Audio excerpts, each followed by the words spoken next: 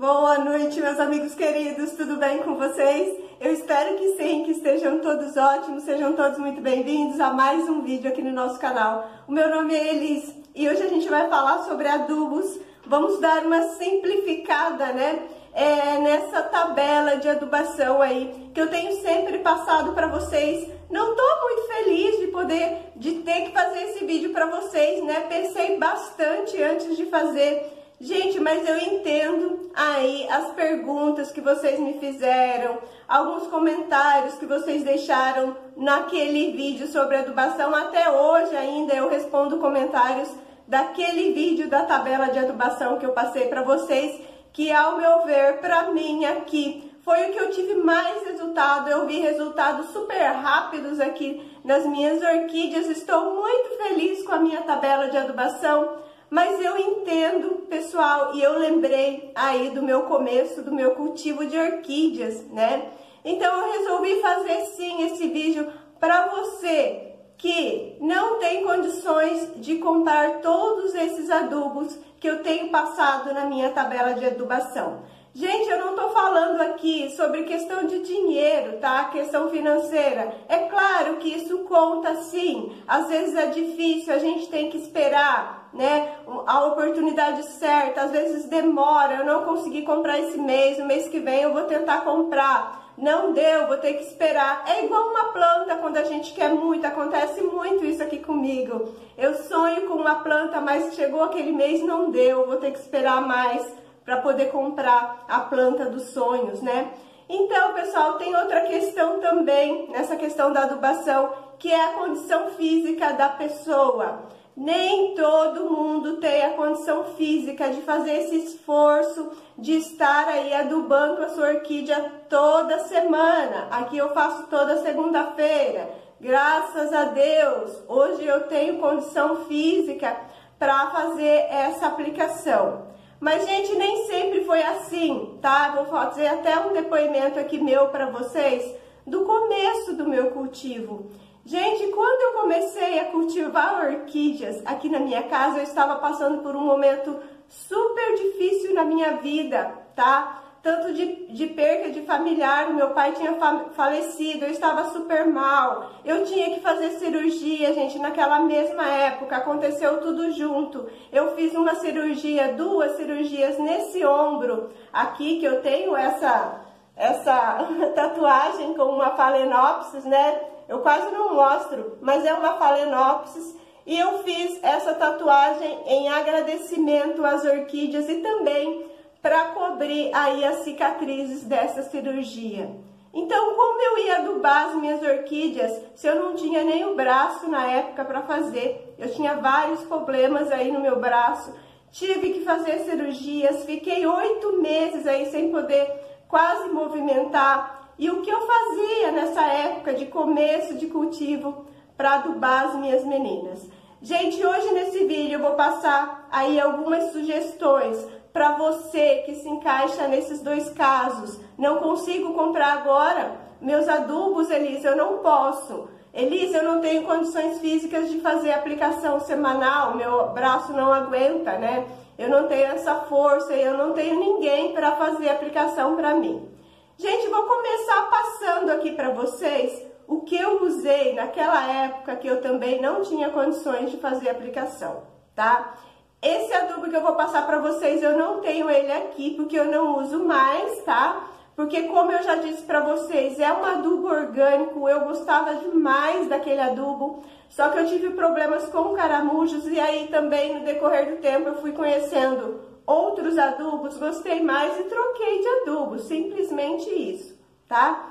Que é o adubo orgânico, o Rimitsu, eu usava o Rimitsu e o Forte Coat, aquelas bolinhas que todo mundo fala, Osmocote, tá? Eu gosto muito de usar o Forte Coat 15912 porque ele tem macro e micronutrientes. Se você não tem condições físicas de fazer uma aplicação de um adubo foliar, que é esse aqui, o BIG, o Forte 20-20-20, que é o manutenção, que tem que ser diluído em água, colocar no borrifador e passar em todas as suas meninas.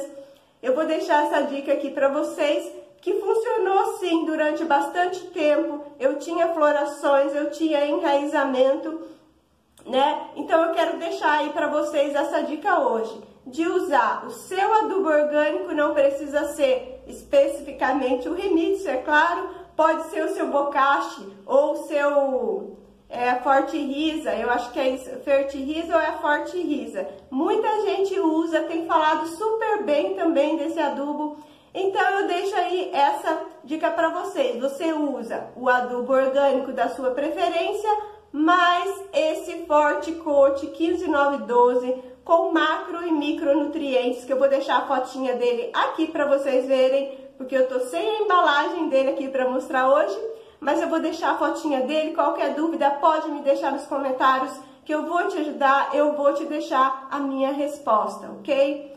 Então, pessoal, você pode usar o seu adubo orgânico mais o osmocote na trouxinha, tá? Você vai colocar lá dentro do seu vaso, vai regar ele, toda vez que você regar, você vai molhar bastante a sua trouxinha. Esse adubo vai ser liberado para sua menina todos os dias quando você regar, tá? Esse adubo é liberado lentamente, a sua planta vai estar alimentada, tá? E você não vai ficar sem adubar a sua menina. Eu tô louca para falar para vocês assim, ó, coloca o cálcio, gente, também. Gente, mas esse vídeo é, eu quero simplificar, eu quero facilitar a vida de vocês, que não é porque eu não tenho todos os adubos que eu não posso cultivar orquídeas, tá? É isso que eu quero deixar bem claro para vocês hoje. Gente, outra ideia, outra sugestão para você, né, que, que não quer usar o adubo orgânico, que estragou seu substrato, que veio caramujo e que você não gostou, não se adaptou com o adubo orgânico. Elise, eu quero um adubo só né? Eu quero usar um adubo só, eu não tenho condições de comprar outros adubos e também não tenho condição física de ficar fazendo aquele monte de aplicação, né? Gente, eu super indico para vocês, tá? Eu sempre passo para vocês o que eu uso aqui na minha casa.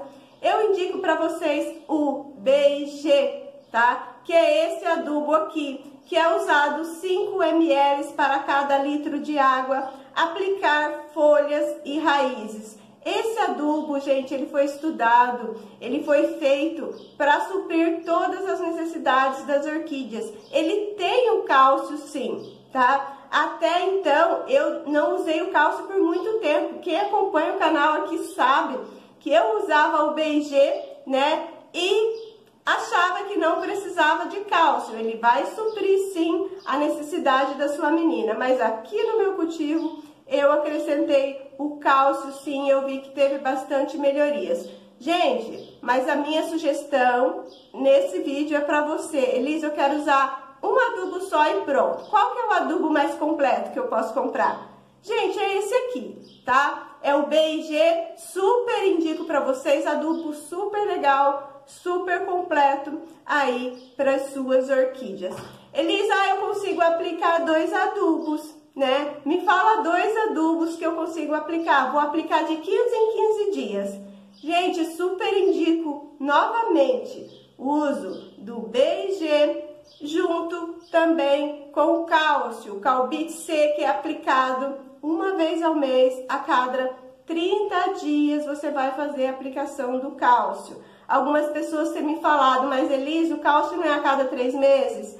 Gente, outros cálcios, outras marcas, eu não sei dizer para vocês, tá? Mas esse cálcio aqui, que é o Calbit C, que eu estou usando, é uma vez ao mês aí que faz aplicação, tá? Tanto no toquinho quanto no vaso, né? Pessoal, tem um outro adubo aqui muito legal também, tem um NPK que eu gosto demais, que eu já quero falar para vocês, né? Fica a sugestão aí também, se você quer usar um adubo só, só que eu não indico usar só ele. Por quê? Porque é o 20-20-20. Ele tem só esse NPK, mas ele não tem aí os micronutrientes. Esse adubo é excelente se você for usar junto com outro tipo de adubo que tenha macro e micronutrientes. Deixe uma outra sugestão para vocês aqui de uso desse, porque ele é muito legal esse adubo também você pode usar o seu Forte Coat 15912 lá na sua trouxinha, no seu vaso, tá? Deixar ele lá e aplicar esse aqui também, que é diluído em água. Pode aplicar uma vez na semana, uma vez a cada 10 dias, tá? Já é o suficiente também. Gente, então foram aí essas sugestões mais simplificadas que hoje eu quis passar para vocês, tá? Queria muito também deixar essa sugestão aí para vocês desse começo do meu cultivo, que não foi muito feliz, né? Mas graças a Deus as orquídeas me deram uma aula de paciência, uma aula de amor, uma aula de zelo. Eu consegui, graças a Deus, superar todos aqueles problemas que eu estava tendo. Elas estão comigo até hoje, com muita alegria, né? Graças a Deus. E fica a dica aí vocês, gente. Ficou alguma dúvida sobre essa combinação mais simplificada de adubação? Pode me deixar aí nos comentários que eu deixo a resposta com muito carinho para vocês. Um beijo no coração de cada um de vocês. Espero vocês amanhã aqui às 8 da noite, com a graça de Deus. Tchau, tchau, gente!